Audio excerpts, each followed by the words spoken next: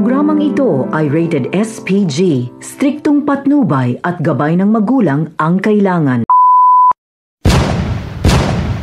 Daniel Padilla may himutok sa pagmamahala nila ni Catherine Bernardo. Huwag kalimutang mag-subscribe and hit all notification bell.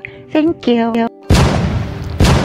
Simula pa lang ng pag-ibig ni DJ kay Catherine ay sobra na umano siyang nag-iingat at laging pinapahalagahan ang relasyong hanggang ngayon ay patuloy na ninanamnam ni Catherine at Daniel.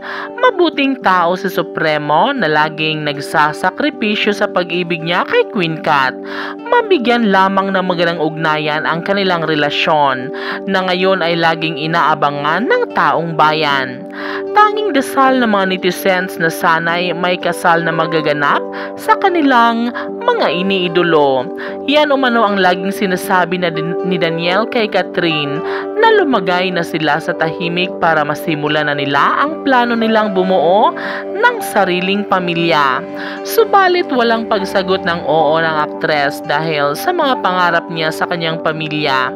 Dito nga nagkaroon ng himutok si Daniel Padilla sa kanilang pagmamahala ni Catherine Bernardo. Gusto na sana ni DJ na official na niyang maging kabiyak ang longtime girlfriend na si Catherine Bernardo. Katniel forever! Thanks for watching. Don't forget to like and comment and subscribe.